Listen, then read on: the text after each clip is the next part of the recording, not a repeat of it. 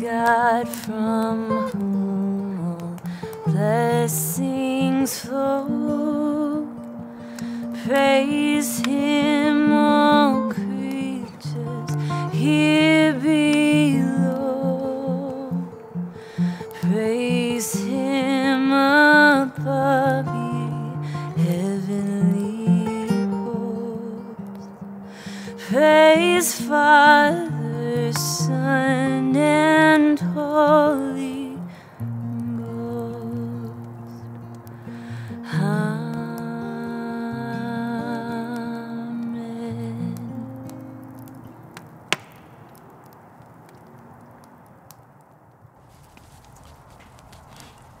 reading from Mark chapter 15.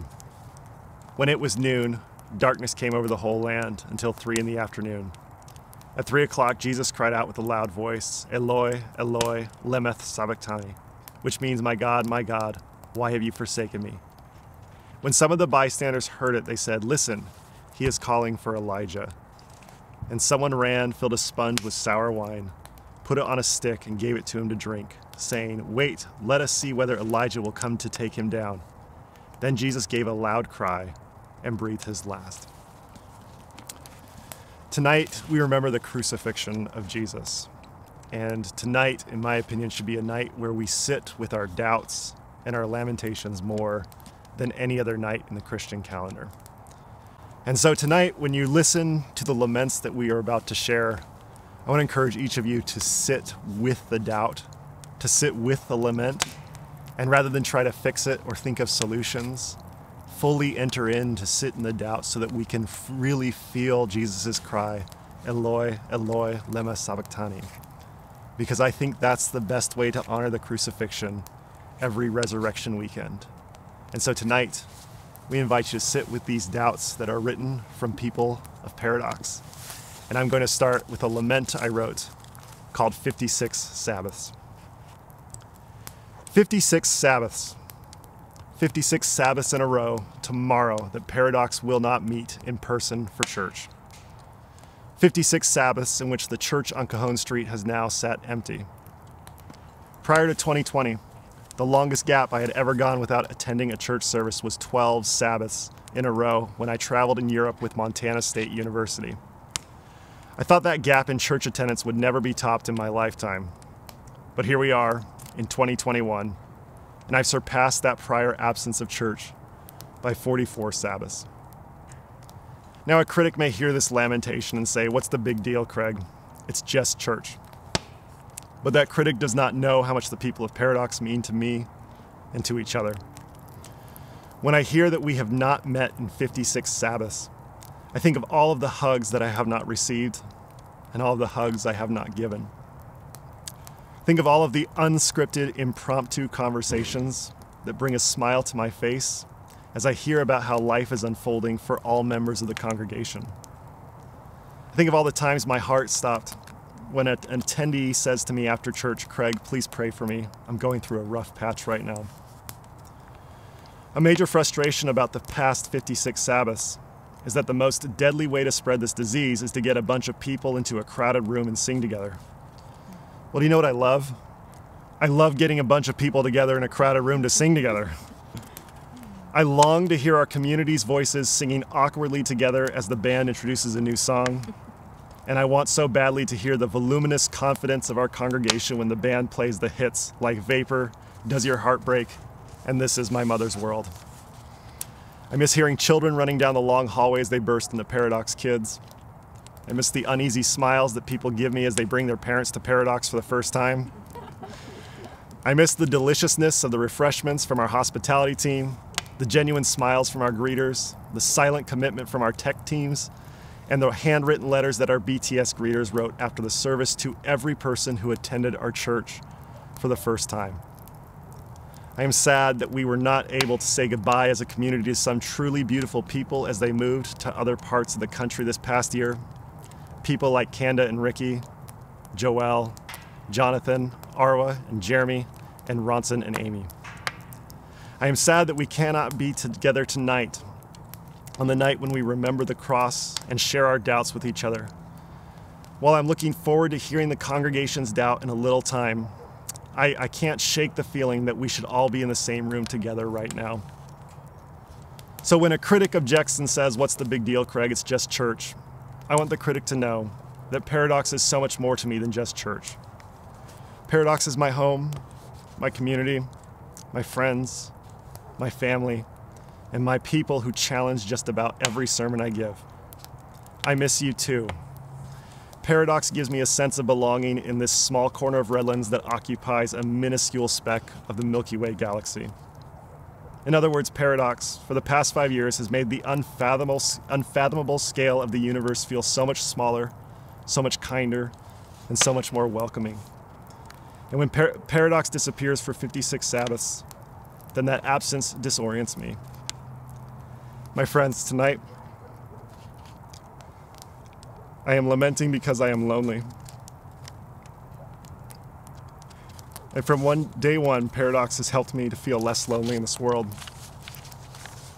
I've struggled without the ritual of our church gathering in person, and I miss you. Whether you are sitting around this fire tonight or in your home watching this on a screen, please know that I miss you. And whenever, wherever you are, please know that I love you. I hope we can sing together again soon.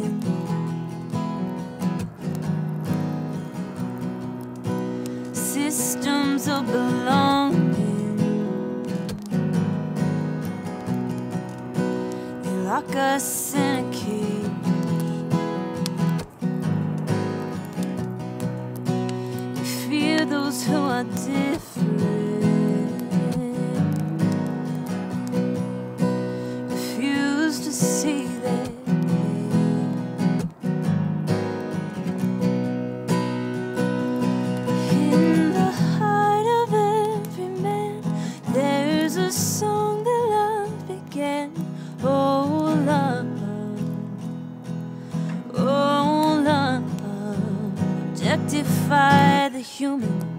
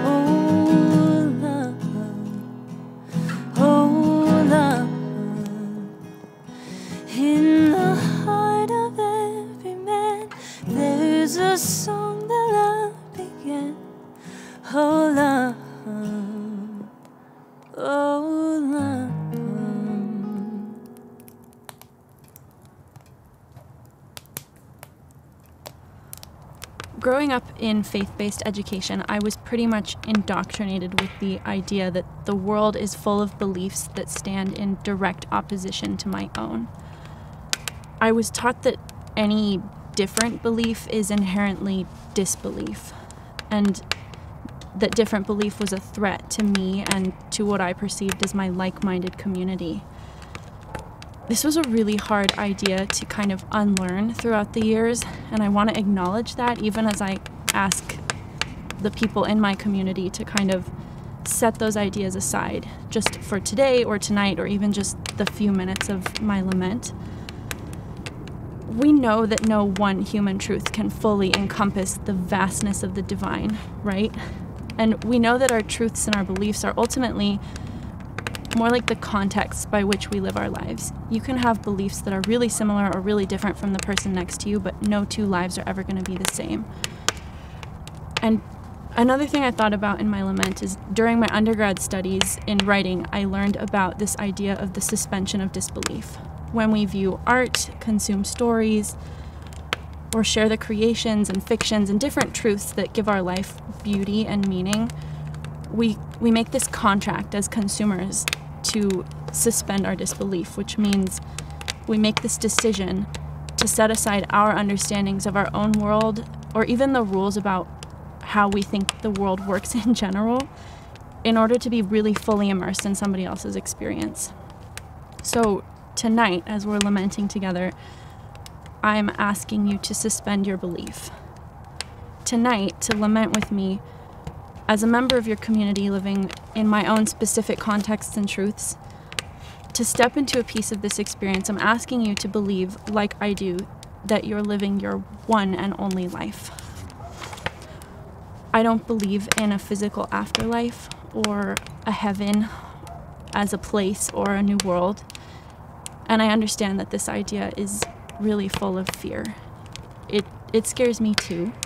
But I thought that tonight, while we're making room for our sorrow, we can also make room to sit with our fear. Um, I do fear death. I, I think we all do, and in a lot of ways, our beliefs are kind of what allow us to shoulder that fear. You know, I, we can shoulder our fear if we believe that death is just asleep and that we'll close our eyes and wake up in this perfect world. We can shoulder our fear if we believe that we end this life and are born into a new life somewhere on the cycles of life in this earth. And I can shoulder my fear if I believe that death, although final, is its own community. It's this natural experience and existence in the world that we share. You know, we're born, we're alive, and we're dead. This is a story that everyone who has come and gone before us also shares. So I'm tonight I'm lamenting death. Not my own, although it makes me uncomfortable and a little scared. Um, but the deaths inflicted by my own species, the human race. You know, we have this one miraculous, gorgeous, beautiful, perfect, one and only planet Earth. And when you enter into my belief, you look around at this planet and you see this wasteland that's been stripped and slaughtered and sold. And for what? All life and deaths, let alone mine as an individual, really cease to be natural or meaningful when we're living in this era of completely unnatural global climate catastrophe. And I, I just reach these points where I wonder how do I shoulder this grief? How do I live in it alone? And what do I lean on when, like, the very foundation of what it means to be alive is melting out from under our feet? What is the use in reusing my grocery bags or shortening my showers when 71% of global carbon emissions are produced by just 100 mega corporations? these are the same companies that are funding our government for their own benefit and for this like temporary hoarded human profit. What does it mean to be one citizen when half of my country is willing to sell and auction off our planet for like just the hope of maybe a tax cut leaking out of the next oil pipeline? What does my individual agency matter? And what does it mean to be an individual in a community of Christians who have so much hope for a new world that they won't really allow themselves to grieve the one we live in? And more personally, I wonder what does it mean to be a woman in my country? I I really yearn for motherhood and to create and carry children but the average carbon footprint of an American is 16 tons of CO2, which is four times the national average and eight times the goal if we want to limit global warming to 2 degrees Celsius by 2050, at which point the children that I'm yearning for would just barely be in their teens and 20s. I'm just I'm asking you to imagine that kind of desperation or how much life threatening hope or selfishness you have to have to bring a child into the world, which is really just fulfilling this very natural and very, very deep desire of love. I just look at the world around us in this context and tell me where I find that kind of hope. I'm lamenting for this earth because it's the only planet that I'm ever going to know. I pray for courage I vote for change, and I hope to save what we have left before it's too late. But tonight I'm lamenting things that are just irrevocably lost. The vast knowledge of our Indigenous brothers, sisters, and siblings who were systemically exterminated by centuries of the same capitalist ethics that have brought us to this point. They narrowly escaped complete genocide perpetuated in the name of Christ and white manifest destiny. I'm lamenting the habitat wastelands of the suburbs where I live, these concrete grids and these chemically blasted sterile lawns. I'm lamenting the California habitats where I was raised. These communities were built on coastal sage scrub, which is now the most endangered habitat on the planet. I was even just thinking in my childhood when we would drive through the desert, we drove through clouds and clouds of yellow butterflies. And that that was before. You know, our insect populations have been decimated, which threatens the viability of birds and wildlife and biodiversity across our continents. And I've experienced these mass extinctions in just the first two decades of my life. I lament the lives that are created and destroyed without any kind of consequence or mercy in global meat industries. I lament oceans and forests and deserts and lakes. I lament the untainted natural world that we never will never get to know. I lament the, the life lived in certainty by humans who could love and trust and believe in and care for this thriving and divine Mother Earth under their feet. I lament the free and healthy world that I have never and will never know a world in which untouched forests are nurtured like a gift instead of viewed as potential palm oil profits, or a world that doesn't put price tags on water while humans, plants, and animals alike are dying of thirst just inches away from the well. I lament the loneliness of this kind of desperation surrounded by loved ones who have the luxury of leaning away from this action or this desperation because they can lean into their heavenly backup plans. I lament the world that I fear to bring my children into. I lament the burdens that they, like me, will place on the world through these systems of capitalist governance and profit based development from which we can't really feasibly escape.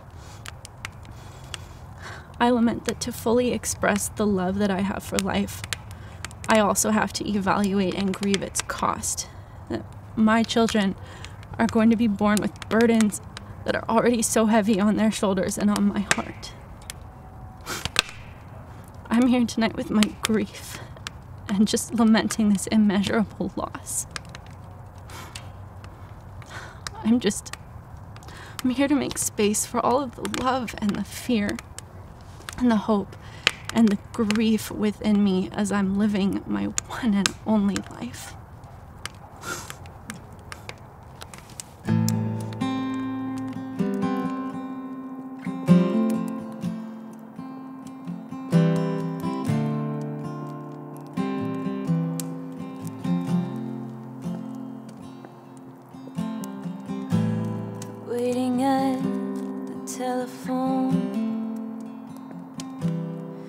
With a single word. She lost her world, and every night a dream of hope. When she wakes, you know he's not coming home. One thing I know We dream, we run, we fight, These are things that unite us all. These are things that unite us all.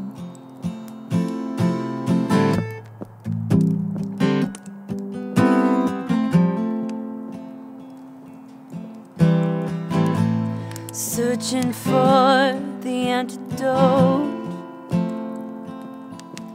There's a price to pay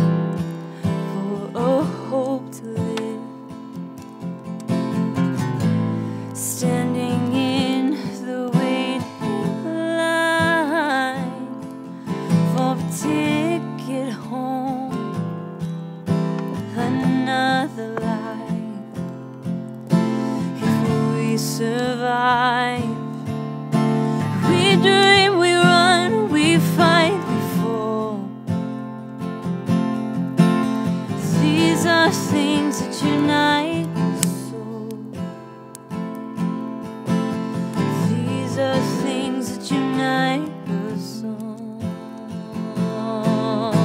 We breathe until we can't no more spend our days searching for a cure. These are things that unite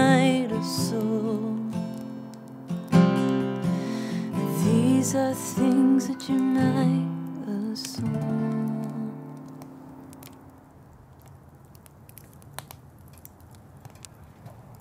So the the doubt that I um, that I'm feeling is one that I felt throughout the whole year, and uh, a doubt and lamentation that I felt in many of my conversations with people, um, and uh, that really just has to do with um, how Christianity responded. And I'm not uh, talking about uh, paradox. I'm not talking about all churches, right? I think it looks different at the local level.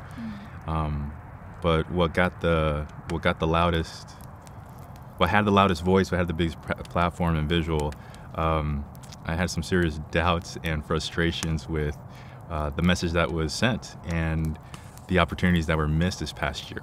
Um, think it just begins with. Uh, I mean, we, we all made sacrifices, uh, or not all of us, but a lot of us did. Uh, we wanted to gather, right? Like we did feel lonely, and uh, but we we made those sacrifices because we felt it was the right thing to do. Uh, we felt that it was a compassionate thing to do, um, not just for the people who would gather with us, but for the people who don't gather with us. Because what what we experienced this past year was.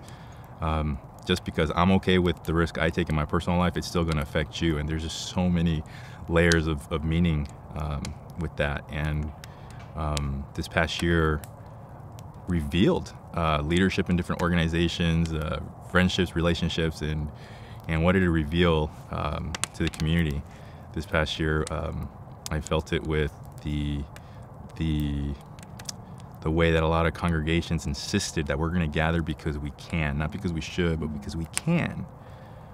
Um, to approach it as if they were the victim of not being able to gather, um, rather than trying to not gather to protect people who are vulnerable.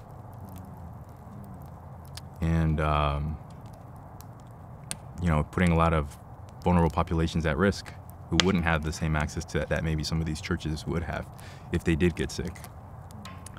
Um, and this past year also there was like this national reckoning with racism and um, people meeting, yes, outdoors publicly, but I'm thinking specifically where George Floyd died. That was a sacred space where people went to go mourn and reflect. And it was really frustrating when um, when you have a religious figure, a singer, uh, goes there and just hijacks that sacred moment and drowns it out with noise that was so unnecessary at that time. And um, was again, we're gonna make it about us and not about what you need, not about the compassion that um, Jesus would have had with you in this moment. It would just made it about them. Um, and it was more public gatherings again, as if they were the victims, um, as if they were going to do it just because they could, and it was defiant. It was not compassionate. It was not gospel. Um, and again, it's not every congregation, it's not every single person, but it's just really unfortunate how um, the message that was delivered was not one of love and compassion, it was a message of defiance. And uh, I just can't help that this past year could have revealed so many more beautiful things of what the church and religion could do. And it revealed more of the power that it wants to preserve.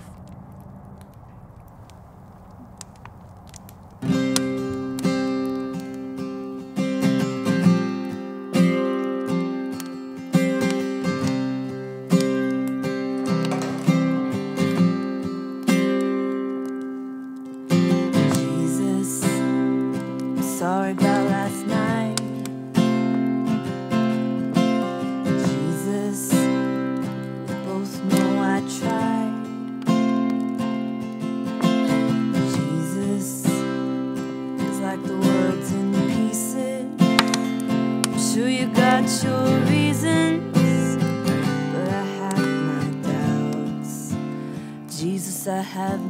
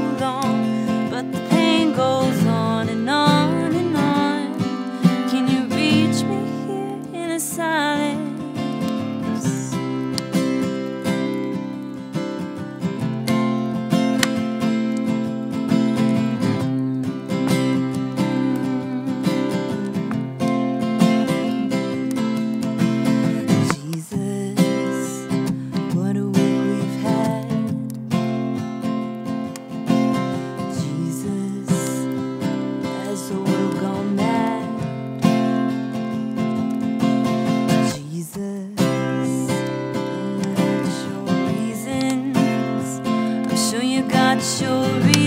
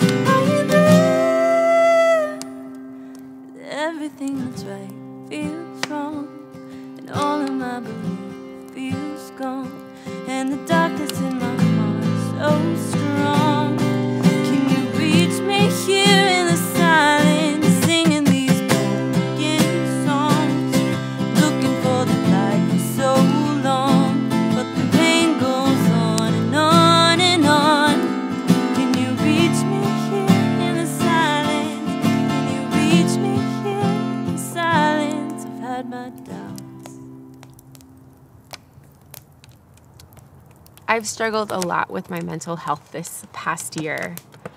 Choosing to practice social distancing meant letting go of hours spent with family around the dinner table, giving up hugs, and missing in person celebrations of weddings, births, and milestone birthdays. Resigning to grieving away from loved ones rather than seeking comfort by gathering together. Yet, while 2020 was immensely difficult, by last fall I had settled into a routine that I found comfort and connection in. I was okay. Until Joe and I tested positive for COVID in late November. I've shared this before with Paradox, but those three weeks were the most difficult of my life. Scared to, je- scared to death of Joe's persistent, never ending fever, difficult and ragged breathing, and incapacitating fatigue. I spent too many evenings sitting in my car in the garage while he slept, bawling and game planning how to convince a hospital to let me stay if I needed to take him there. After three weeks, it was clear Joe would make a full recovery, and while logically I knew we would be okay, my body, gut, and heart has refused to believe it. I've wanted to hide from the world, holed up in our home, and never leave. Stay where COVID could never, ever touch us again. Just be safe. But things like groceries and fresh air and movement are important, and so I had to venture out into the outside world, and I have been terrified ever since. So terrified that sometimes I don't recognize who I am anymore. I have found myself in the bread aisle, tears streaming down my face because I'm sharing a shopping route with a woman who refuses to cover her nose with her mask. I've lashed out at a stranger, a man who held the door open for me at Barnes & Noble because he wasn't wearing a mask and I couldn't get past him without getting within inches of him. I found myself sobbing in Joe's arms because a loved one forgot about the pandemic and greeted someone outside their household with a huge hug and no mask. I am constantly terrified. But I also feel shame. So many of our friends have lost close loved ones from this virus. So many people are battling residual long hauler symptoms. And Joe and I came out of COVID relatively unscathed. We're both we've both tested positive for antibodies. We've both received both doses of our vaccine. Neither of us has lasting physical symptoms or lost any to anyone to COVID. And so who am I to be so affected? We're okay. But I'm also not. My therapist calls it adjustment disorder. And with her help, I've been making a lot, a lot of progress. But I have to admit, with hope peeking out beyond the horizon, I'm actually terrified of normalcy.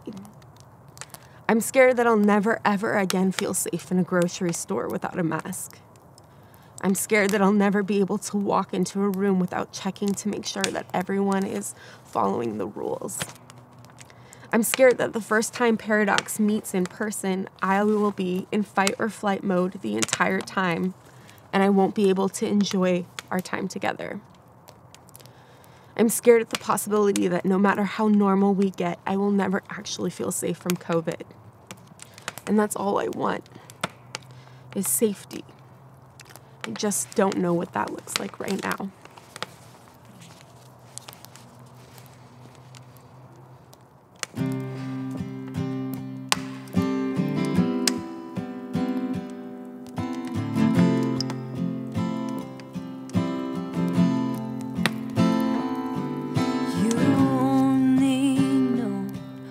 I want you.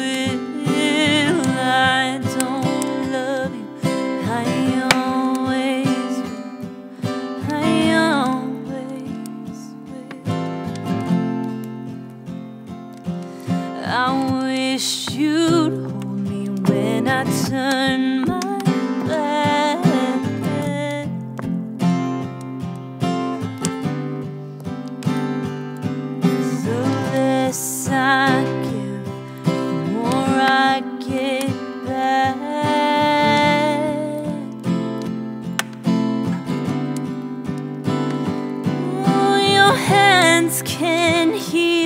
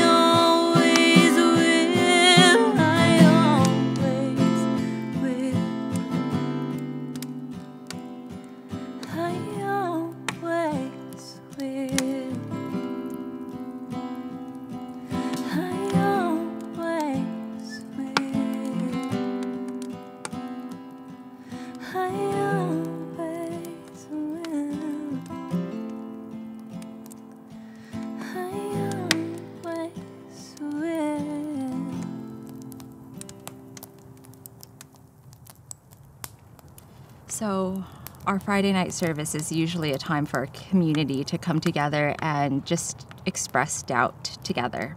We usually all submit our doubts that we've pent up inside and have them read aloud and validated. In honor of that, we've asked for early submissions this year, and I have some of the doubts of our congregation. There's pain, uncertainty, but also love as we are together in this moment. Thank you for participating and taking time to hear what those around us are experiencing. I feel so unsure of my calling and how capable I am to do what's needed of me. It feels like it's never enough. My doubt is my child with mental illness will one day hurt himself or never get better, never have a job, never leave home, never have anything for himself, and sadly, never know God.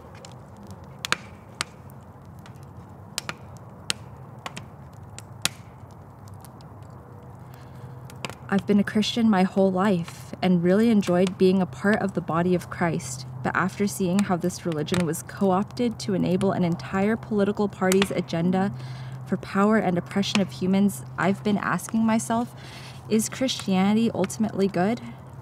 Is there is this something I want to be associated with? I'm starting to feel like the answer is no.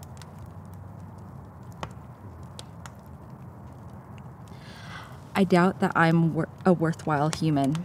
I doubt that I bring much value to those around me, and instead I am an emotional drain. I doubt I have inherent value and often wish that some great thing which to look back on and say, this was the impact I had. I doubt that there is meaning or purpose to be had in this world full of anger and division. While I don't doubt the mystical, metaphorical, mythical telling of Jesus' resurrection, I highly doubt that the literal physical idea of Jesus being bodily returned to life. I often doubt that God exists. Whether or not God is real, I still believe the recommendations from the Bible will still result in living a full, wonderful life. But to what end? If God isn't real and heaven might not be real, then while I live a good life, what is there to look forward to in the, the afterlife in the fact of death?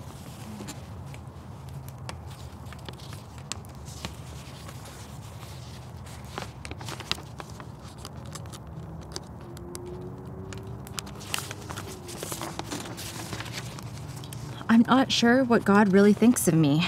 On one hand, the Bible says she abhors sin, idolatry, faithlessness, and turns her face from those who do this.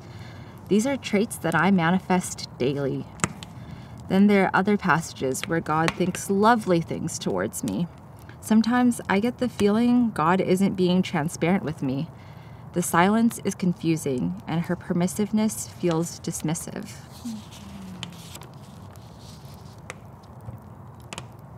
There are so many stories in the Bible that make me feel like this whole God thing is made up.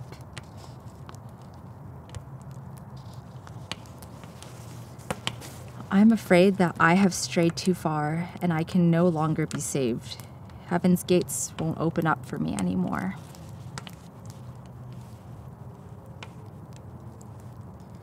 I am trying to work with an oppositional co parent.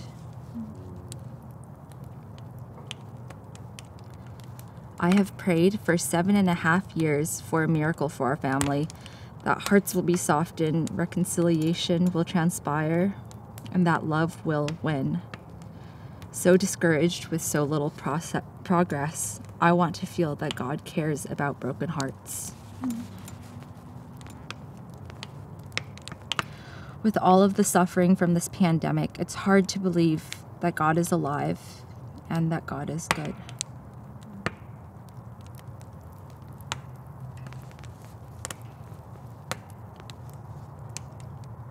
What if God really is the vengeful, angry God of the Old Testament?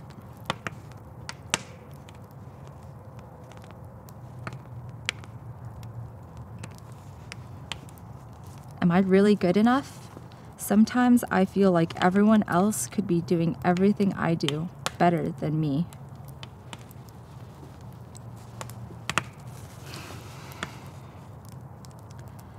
In the midst of COVID, I was diagnosed with a chronic illness. Now I wonder how long I have left to live. Will I have time to gain a better understanding of life after death so I can adjust my thoughts accordingly? Will I live to see the next generation?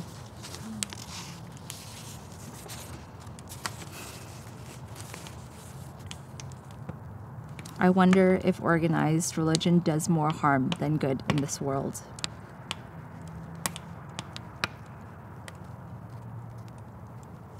I'm dealing with depression because I am having increasing difficulty with walking and doing the simplest household chores.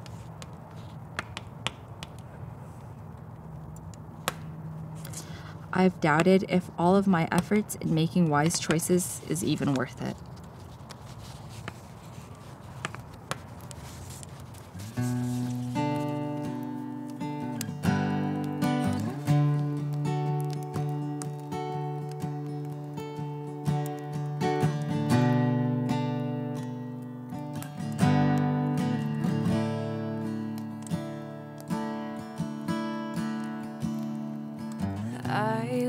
Once knew your father well.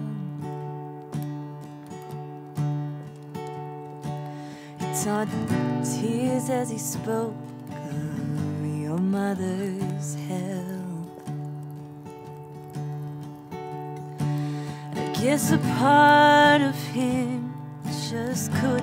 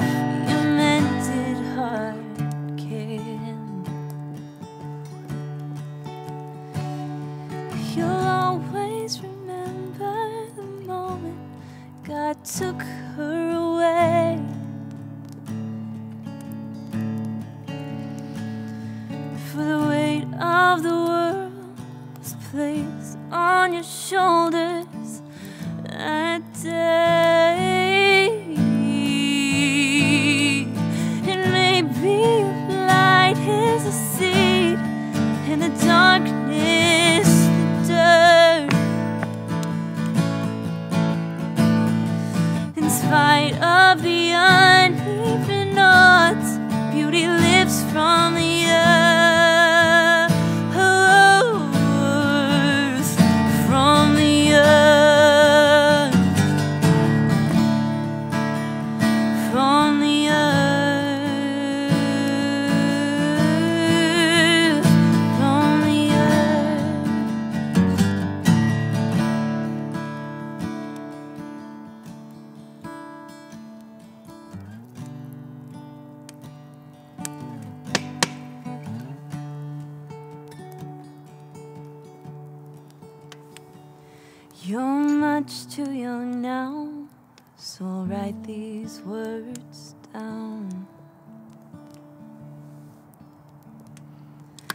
Darkness exists to make light truly come.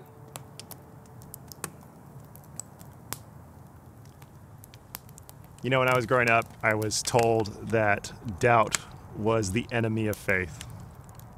And here at the very heart of our tradition, uh, our symbol of our tradition is the cross. And on the cross is the most doubt filled statement, probably in all of our tradition My God, my God, why have you forsaken me?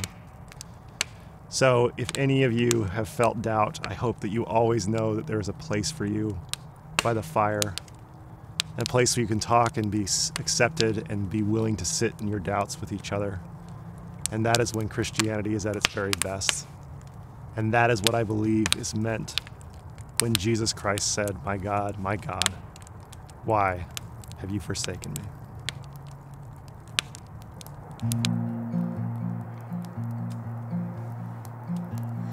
Praise God from whom all blessings flow. Praise serve